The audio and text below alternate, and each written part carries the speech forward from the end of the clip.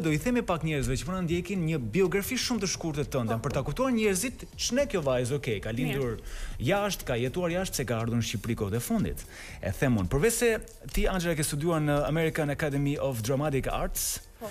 ë uh, ja ke dalë që të interpretosh në filma të ndryshëm, në seriale uh, të rëndësishëm, uh, me emra që nuk janë ë uh, Pak të njohur, janë goxha të njohur. Për shembull, në serialin televiziv The Street ti ke luajtur së bashku me Tobin Bell dhe Jim Hanks, është vëllai i Tom Hanks për ata që nuk e dinë, po ashtu në The Space Between ke luajtur me Kelsey Grammer dhe Paris Jackson, sa bukur e thash Jackson, po ashtu ke qenë protagoniste për një reklamë kombëtare për brendin e Kate Hudson edhe protagoniste në klipin Come Around të Hoodie Allen në bashkëpunim me Christian French.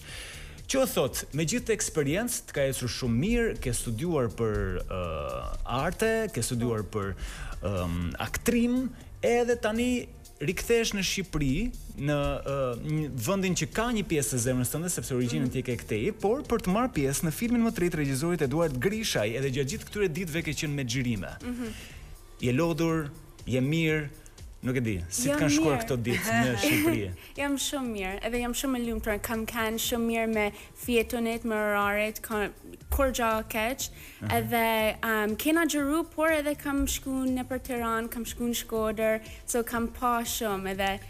Jam shumë e lumtur. Domethënë, të kishte marrë malli për Shqipërinë edhe tani meqë pate një shkak të rëndësishëm për t'u kthyer në Shqipëri, ja tek je edhe po e shijon nga pak apo jo. Po, si po të duket Tirana? Shumë bukur. Shumë, shumë bukur. Jam shumë, kam babën prej Tiranë dhe mamën prej Shkodër dhe jam shumë krenar për të dy, por Tiranë është shumë e bukur. Dhe ti je edhe krenare që je shqiptare dhe origjinën tënde asnjëherë nuk e fsheh në fakt. Më fal, fal. Origjina. Po. Je krenare. Shumë krenar. I swear. Ja është sepse kam shumë pasion për Shqipërinë. Për kulturën, gjuhën, ushqimin, gjithçka mm -hmm. e mhm. kam qejf shumë. Mamin e ke nga Shkodra, mm -hmm. babin nga Tirana, po prap ti flet me theks shkodran. Po.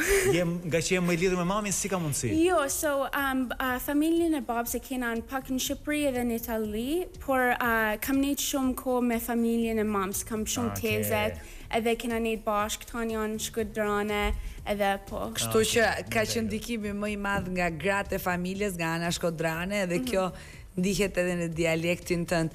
Na trego pak tani për arsyen që të solli kësaj here në Shqipëri duke qenë se je pjesë e kastit të filmit të Eduard Grishajt. Si është ky film? Si të erdhi ftesa? Sa të pëlqen roli që ke? Na trego ca detaje.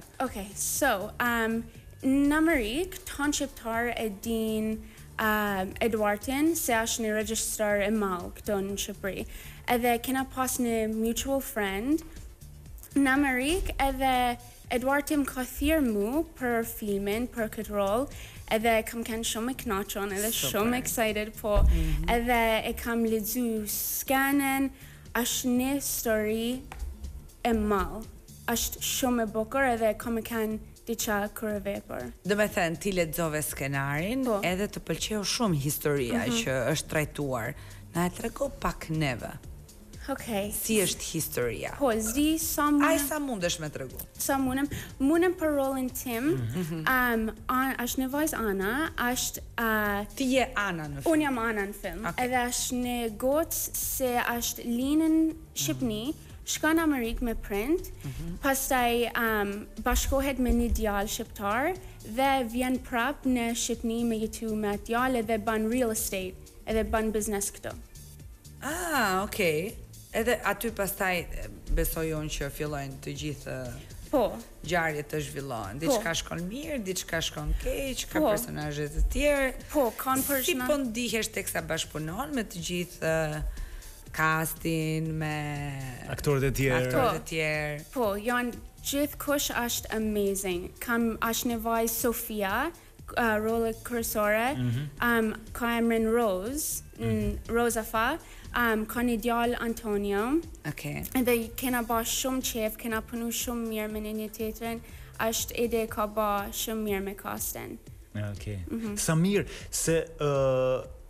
Pjesë e rëndësishme pa diskutim është edhe të kënaqesh, ë të kalosh mirë, të argëtohesh teksa bën një film. Dhe dihet që përgjithësisht filmat, skena të ndryshme mund të jenë, mund të duan shumë kohë për t'u xhiruar, edhe mund të jetë ajo tendenca edhe për t'u mërzitur, dekurajuar, por jo, atmosfera është e mirë. Kjo është. Atmosfera është amazing edhe.